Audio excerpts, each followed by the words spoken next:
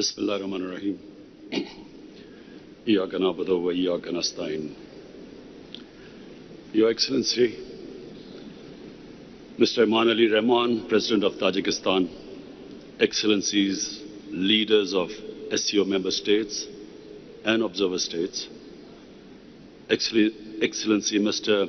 Vladimir Norov, SCO Secretary General, Excellency Mr. Jumakhon, Director, Executive Committee of SCO Regional Anti-Terrorist Structure,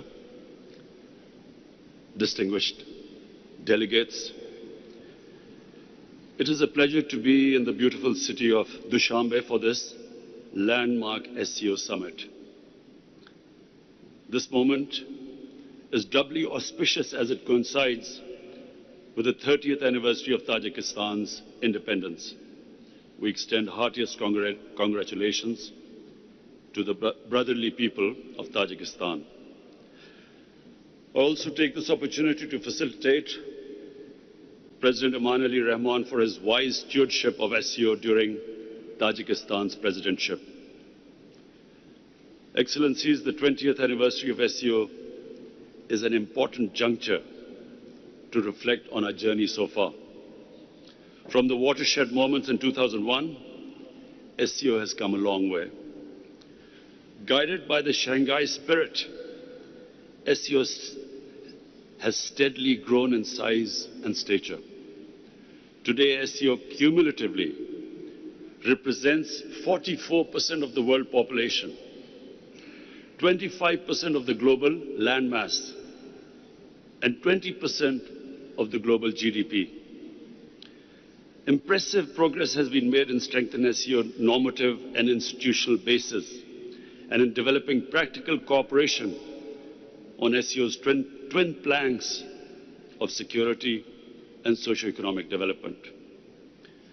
While SCO has done well to respond to old and new challenges, the increasingly complex global environment and geopolitical tensions would test our resolve in the times ahead. For our part, we must resist any drift towards bloc politics and stress that peaceful coexistence and cooperation, not confrontation, should be the main drivers of global politics. Excellencies, the COVID-19 pandemic afflicted the world in unprecedented ways. In sheer human suffering, the cost just cannot be calculated. A staggering 4.6 million people have lost their lives. 223 million people have been infected. While the public health systems were overwhelmed, economies worldwide faced downturn and recession. And most of all, the poor were hit the hardest everywhere, whether living in the impoverished south or the affluent north. For the first time in 20 years, the world saw rise in absolute poverty. We in Pakistan adopted a collaborated strategy of smart lockdowns with simultaneous focus on saving lives, securing livelihoods, and stimulating the economy. A very difficult road to navigate. Our social protection program, which was called Ehsaas Compassion, helped millions of families to survive. I also launched a global initiative for debt relief to help create fiscal space for developing countries to mitigate the negative effects of the pandemic and achieve sustainable development. The advent of COVID vaccine in a relative short time is a miracle of science. We believe science should continue to guide the world's efforts as it combats the pandemic. Attempts to politicize the question of virus origin, origin should be avoided, as it is divisive at a time when the world needs to unite. The, the vaccine should also be available to everyone on equitable basis as a global public good. Excellencies, climate change is another existential threat that our planet faces. Mitigating its effects is rightly commanding the highest priority on global agenda. Pakistan's contribution to global emissions is negligible, yet we are amongst the 10 most vulnerable countries to, its, to effects, negative effects of climate change. My government, I'm proud to say we've initiated, initiated a flagship program of planting 10 billion trees. Our initiative for Clean and Green Pakistan not only aims to protect nature and res restore ecosystems, but also expand ecotourism and create thousands of new jobs for our youth. We're also committed to shifting our energy mix towards a clean and low carbon trajectory and are projecting 60% of our energy to be clean by 2030. We continue to work with the international community towards comprehensive implementation of Paris Agreement and mobilization of enhanced international climate finance to achieve our shared objectives. Excellencies, as the world marked the 20th anniversary of 9-11 attacks, we all reminded that the, despite international community's earnest efforts, the threats posed by terrorism still persist. Associating one religion with terrorism has enabled far-right, populist and supremacist groups around the world to, prop to propagate, multiply and accumulate influence. In some cases, such extremist and bigoted ideologies have ascended to capture the state power in so-called democracies. The fight against terror should not be won if we ignore that these threats and challenges, the biggest of which is state terrorism, perpetrated against people living under foreign occupation in disputed territories. For decades, Pakistan has suffered from terrorism that was planned, supported, financed, and orchestrated by state entities from across the border. Outside the active zone of conflict, no other country has suffered more than Pakistan. We have suffered 80,000 casualties, an economic loss in excess of $150 billion, apart from millions of people being internally displaced. Yet our resolve remains strong. We will continue to be a reliable and a willing partner of the international community in the fight against terrorism and extremism. Excellencies, threats to international and regional peace and security is a vital interest of SCO.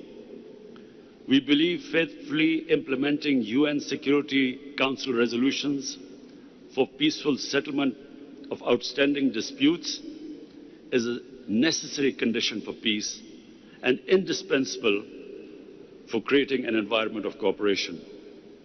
Unilateral and illegal measures to change the status of disputed territories and violation of Security Council resolutions run counter to this objective. Such measures must be condemned and opposed firmly for being in violation of the SCO Charter and its well-established principles of interstate relations. Excellency, the most significantly, Afghanistan is rightfully the focus of our attention in view of the recent developments. The sudden change of the previous regime, which took everyone by complete surprise, the takeover, the takeover by Taliban, and the full withdrawal of foreign forces has established a new reality in Afghanistan. That all this happened without bloodshed, without civil war, without mass exodus of refugees, should be a matter of relief to all of us. We in Pakistan were fearing a bloodbath like it happened after the Soviets exited from Afghanistan in 1989. It is now in the international community's collective interest to ensure that there is no renewed conflict in Afghanistan and the security situation is stabilized. Equally urgent priorities are to prevent a humanitarian crisis and an economic meltdown. We must remember that the Afghanistan, the previous Afghanistan government survived on 75% of foreign aid. With the removal of foreign aid, there is a danger of economic collapse. And this is the time to stand with the people of Afghanistan. We commend the UN Secretary General and UN agencies for leading from the front in mobilizing international support for the immediately needed humanitarian assistance. Apart from helping in the international evacuation efforts, Pakistan has extended all possible support and provision and facilitation of humanitarian relief. Going forward, we believe positive engagement of the international community with Afghanistan is extremely important. This is a rare opportunity to finally end 40 years of war in Afghanistan. This moment should not be squandered. It would be unwise at this critical jun juncture to spread negativity or indulge in mischievous propaganda, as some spoilers sought to do. This will only serve to undermine the prospects of peace to the detriment of the Afghan people. For their part, the Taliban must fulfill the pledges they have made. And most of all, for an inclusive political structure where every, all ethnic groups, all sects of Afghanistan are represented. And this is vital for peace and stability. Apart from that, the rights, the human rights of all Afghans should be protected and they should ensure that Afghanistan is never again a safe haven for terrorists. As a country that has continuously suffered from the spillover of conflict and stability in Afghanistan and borne the burden of nearly 4 million refugees for almost 40 years, Pakistan has an abiding interest in peaceful and stable Afghanistan. We will continue to support a stable and prosperous Afghanistan. And we must all realize that the history of Afghanistan suggests that the people of Afghanistan fiercely protect their sovereignty. Afghanistan is one country that cannot be controlled from outside. Excellencies, sustainable peace and stability in Afghanistan will also help us realize our vision of an interconnected, prosperous, and economically vibrant region. In Pakistan, we have shifted our focus from geopolitics to geoeconomics. Our new economic security paradigm has three central pillars peace, development partnerships, and connectivity. Pakistan's geostrategic location as a natural bridge connecting Central Asia with South Asia finds its manifestation through the platform of SCO. Pakistan offers the shortest route to the sea many, for many of our partners in Central Asia. I commend the initiative by the President of Uzbekistan to host the International Conference on Central Asia, South Asia connectivity in, in Tashkent last July. There is no doubt that the web, the web of rail, road and sea and air links across the SCO region will usher in a new era of enhanced trade, energy flows, and people-to-people -people exchanges. This hard and soft connectivity will contribute significantly to progress and peace in the region and beyond. These trans-regional linkages will be reinforced by the China-Pakistan Economic Corridor, the flagship project of BRI, which is making steady progress. Excellencies, as we commemorate the milestone 20th SCO Summit, I propose five-point way forward. One, we must reaffirm our complete support for effective multilateralism and the, and, and the principles of the UN Charter, including equality and sovereignty of states, respect for ter territorial integrity, non-aggression, non-use or threat of force, and people's right for self-determination.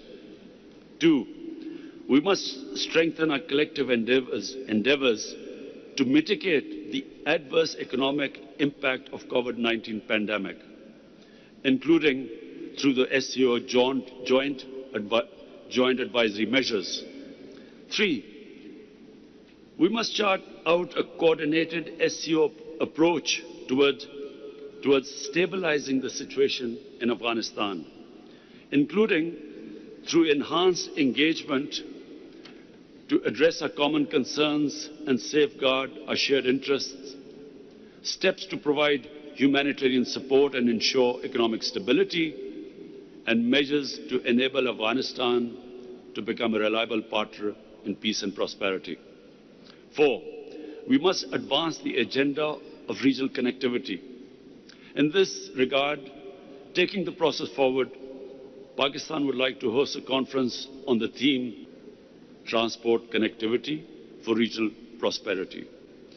And five, we must, recognizing the immense potential of our youth, explore all possible avenues for their increased interface and empowerment.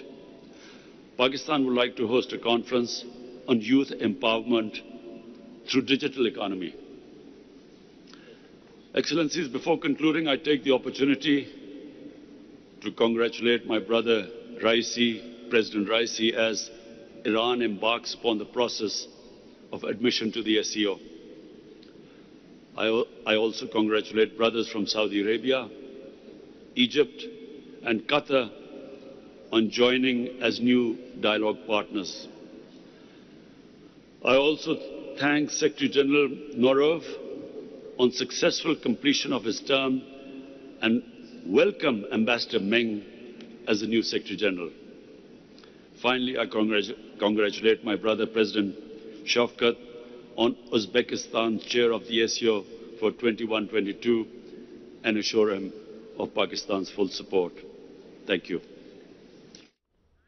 नाजरन वजी अजम पाकिस्तान इमरान खान दुशंबे में Shanghai ताउन तंजीम के सरबराह इजलास से खिताब कर रहे थे इस मौके पर उनका कहना था कि दुनिया और खत्े में امن ایس سی او سے وابستہ ہے۔ عالمی برادری ذمہ داری عائد ہوتی ہے کہ افغانستان کے عوام کے ساتھ کھڑے ہوں۔ ساتھ ہی ساتھ انہوں نے یہ بھی کہا کہ کرونا وبا کی وجہ سے چالیس لاکھ افراد جو ہیں وہ دنیا سے چل بسے ہیں۔ انہوں نے کہا کہ کرونا وبا کی وجہ سے معیشتوں پر اثرات مرتب ہوئے ہیں اور انہوں نے کہا کہ وقت آ گیا کہ عالمی برادری افغان عوام کے ساتھ کھڑا ہو۔ ضروری ہے کہ طالبان اپنے وعدے کی پاسداری کریں۔ انسانی امداد کے لیے متحرک کرنا سلامتی کونسل کا اہم کردار ہے۔